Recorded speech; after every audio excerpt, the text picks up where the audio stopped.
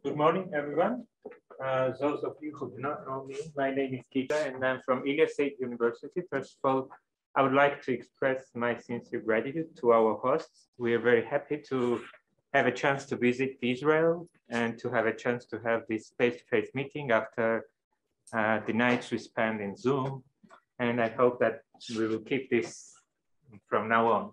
Um, when, when Ali offered to present on this session, I thought that maybe perhaps I, I, I, use this 20 minutes to explain what happened in Georgia during this uh, emergency remote teaching uh, what challenges we faced and what at what stand we developed ourselves. So actually, I, I will try to explain what happened, but uh, before that, I, I, um, would like to start with this uh, graph. Perhaps some of you remember this. When our project started back in 2020, we conducted a survey. We asked our students a few questions. And one of the questions in that survey was, uh, if uh, we, we, are interested if online learning uh, made our students like if they feel comfortable with online learning. And at that time, we, we asked them to, to use this grade and five means that they are happy. One means that they are they do not like it. And as you can see, the majority, almost like 80%, 75% answered that this is not the way they like to study. So they disliked online learning. And there was something that we uh, we conducted a survey in, in all three institutions um, that, that are participating in this project. And at that time, we started to analyze this. Why, why, why, what was the reason that we got these answers? Uh, and we thought that the main reason was uh, because the life, the, the whole life was changed, the way of our lives, because everything was moved totally into online and students were not able to, to uh, uh, go out and have the ordinary life. So they disliked this, not uh, uh especially the distance education, but everything that was conducted online. But that was in the beginning of um, pandemic 2020, as I mentioned, and then um, like every university, every higher educational institution in Georgia moved on uh, this online learning and uh, different institutions had different challenges. We have colleagues all over the Georgia and we know them, we hear the, their stories. Um, and I, I, just listed here the main challenges from the student's perspective.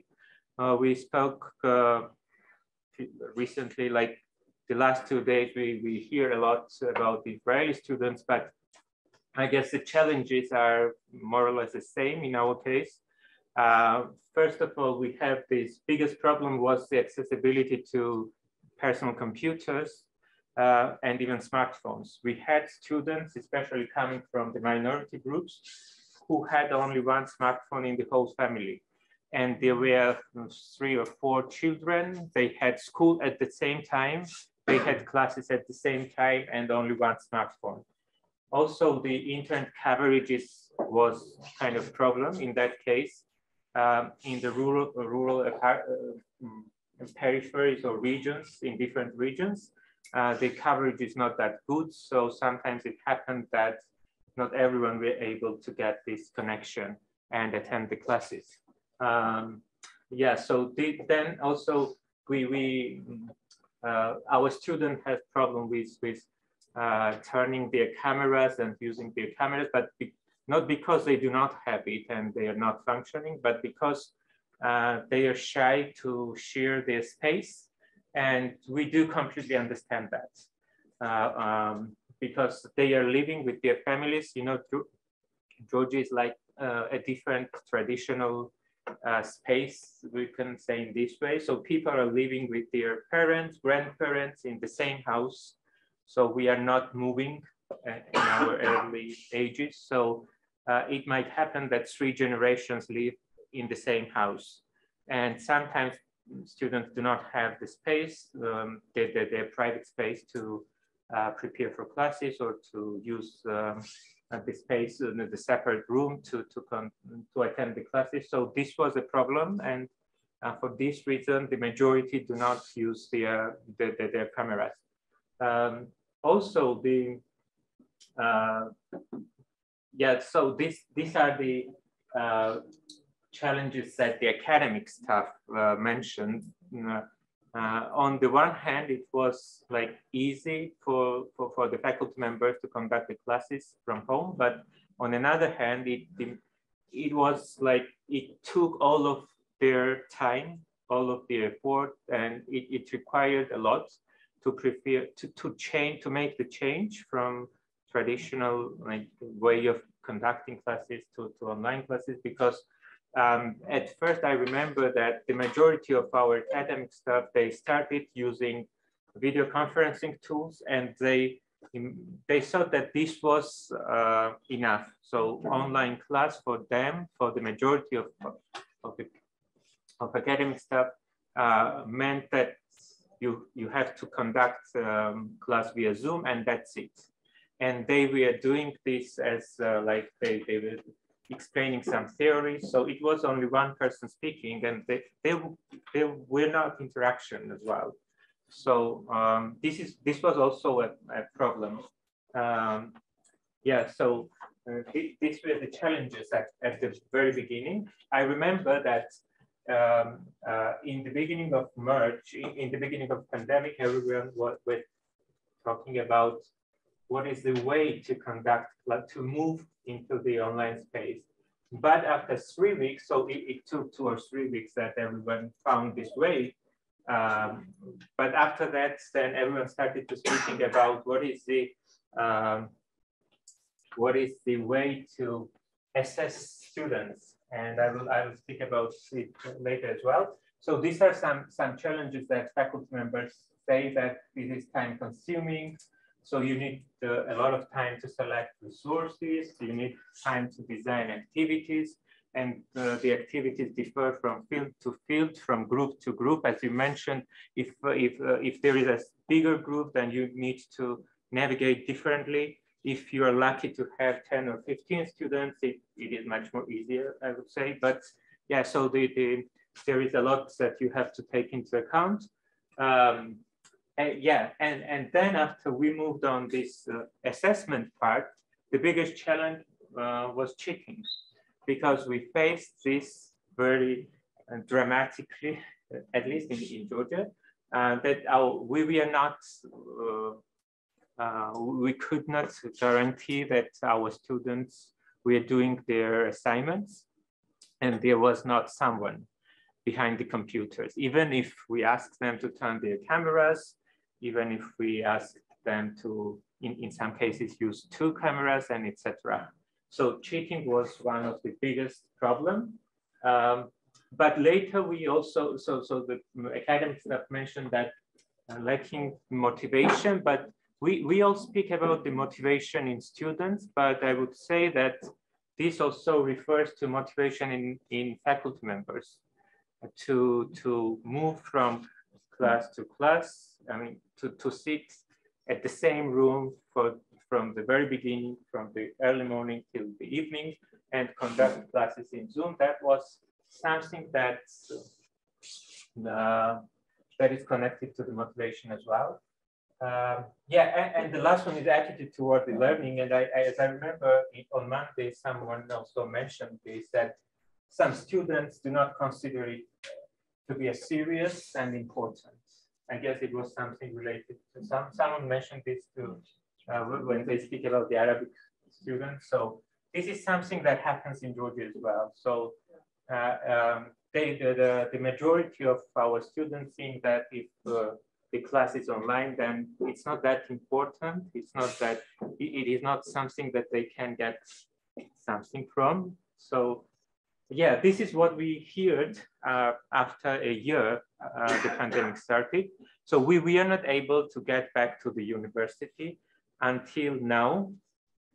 Our spring semester starts next week actually, and this is this will be the very first time we, we are getting back to the university, but still not fully.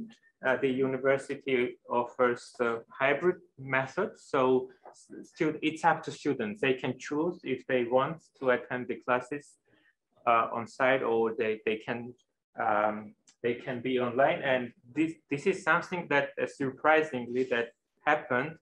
Um, that our, our, students at Ilia State University has already choose their subject, so they have schedule. And it turned out that the majority, almost 60% of our students now prefer to study online. They do not wish to come at the university. If you remember that in the beginning of pandemic, so the majority said this is not something that we like. But now they, even the university says that it's now you can get back, they, they prefer to stay online. And this is, I, guess, something that we need to, uh, in our case, we need to think about how to use that in order to enhance the digital, digital competencies and digital infrastructure. Yeah, so uh, let, let me get back quickly to the academic misconduct and the cases because that was the biggest challenge, and not only in in uh, in in our case, but uh, from from everywhere else, from from from my colleagues, what I have heard. Although the, there is not, it is not an outputs of the research, so this is not a research conducted, but uh, this is some fresh uh, thought that I, I, I have from my colleagues, um, we notice that uh, um, we notice that the variety of the misconducts, the types of the academic misconduct was increased, even if the majority of the institutions had some sanctions, had the policies on place, and they are subscribed to plagiarism detection software still, um, that was the biggest uh, challenge. First of all, and, I listed here different types of uh, misconduct that was uh, frequently seen in, in our practice. First of all, that, that was the social media. Um, in, in, Georgia, the majority of the students or people are using Facebook as the number one social social media. They quickly create the groups. I mean, students. They quick they, they create the chats and they have all that, all, they, they their classmates uh, in, in these chats. And when the exam starts, and then they are starting to share information with these groups and chats. So uh, uh, this was something that, uh, that they use also the WhatsApp chats to, to share the answers, for example, or they directly make a screens of the quizzes and then share it very quickly. Also, the, the another type was unauthorized collaboration, if we can call it in this way. So it means that they ask support to their friends, family members, um, maybe former teachers. I remember that one of my colleagues who is actually teaching German language, uh, she told me the story that some student from another university told her that I will pay you some amount of money if you write an exam for me. Uh, so that, that also happens. Uh, yeah, so uh, the contract cheating, you, I remember that when I was a student 15 years ago, maybe there was also a contract cheating, but cases of contract cheating, I remember ladies uh, like standing in front of the university and offered us some some this ad advertisement in, in these little papers but now this moved into the online space. So you can see different facebook groups directly offering you uh, this assignment like uh, five Georgian lari, that assignment 15 lari, and etc. The master thesis, this kind of, and they offer, yeah, they offer different, they offer the whole, um, uh, I mean, different types of the assessment that exist. That they even offer support when taking a test. They can write a test. They can sit in behind the computer and they can help you to uh, pass the oral, oral exam, oral presentation, etc.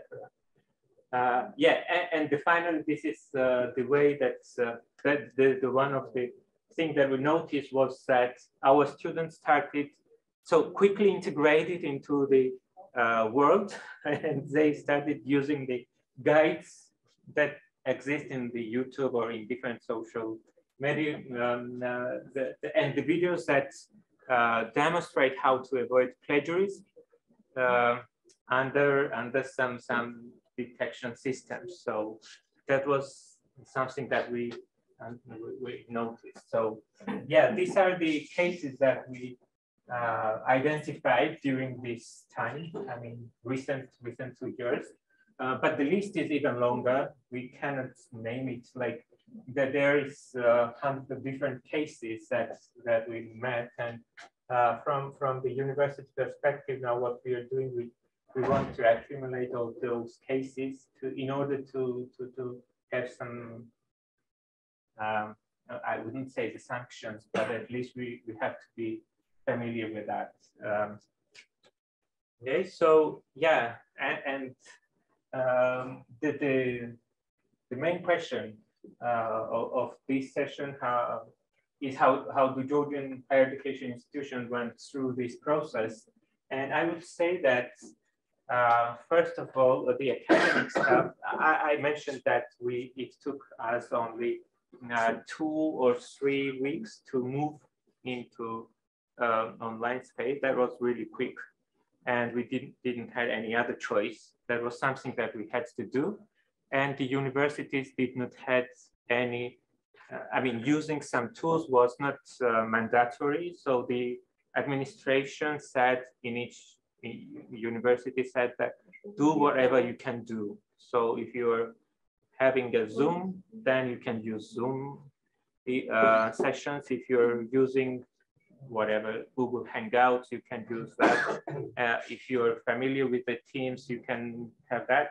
Or in the beginning, I remember that few of my colleagues who had five or six students in the group, they were using um, Facebook Messenger and they conducted the classes via Facebook Messenger. So that was in the very beginning. But uh, what helped uh, us a lot was the uh, practice or being or, or, the way we participate into different Erasmus Plus projects like Love Distance. We at uh, Ilia State University and in, in other partner institutions in Georgia as well, we, we are a good, uh, we, we had a good um, uh, practice of participating in, in different uh, Erasmus Plus uh, capacity building projects. And within this project, um, they, they, they, we, we had a chance to attend trainings, to conduct trainings in um, blended learning methods, in active learning, and different types of uh, that possibilities that exist. And somehow our academic staff was prepared to make this change very quickly.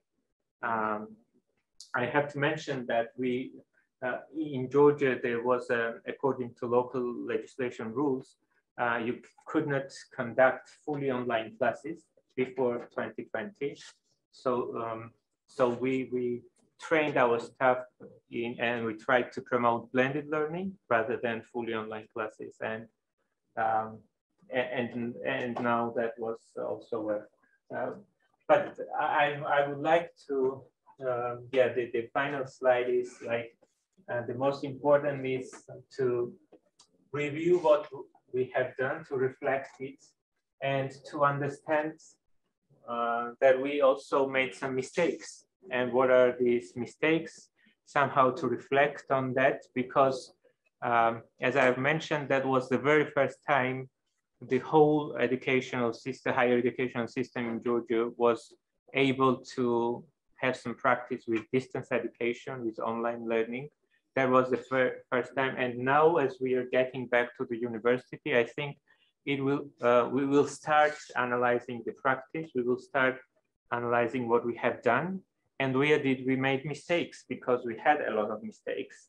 And uh, yeah, this is something that we should use as a lesson to, to uh, study from. Um, and I really hope that uh, the project outputs and outcomes will support in this way as well uh, to, to design the the best solution for that.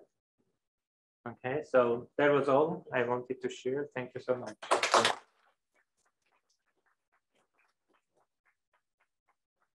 Any questions?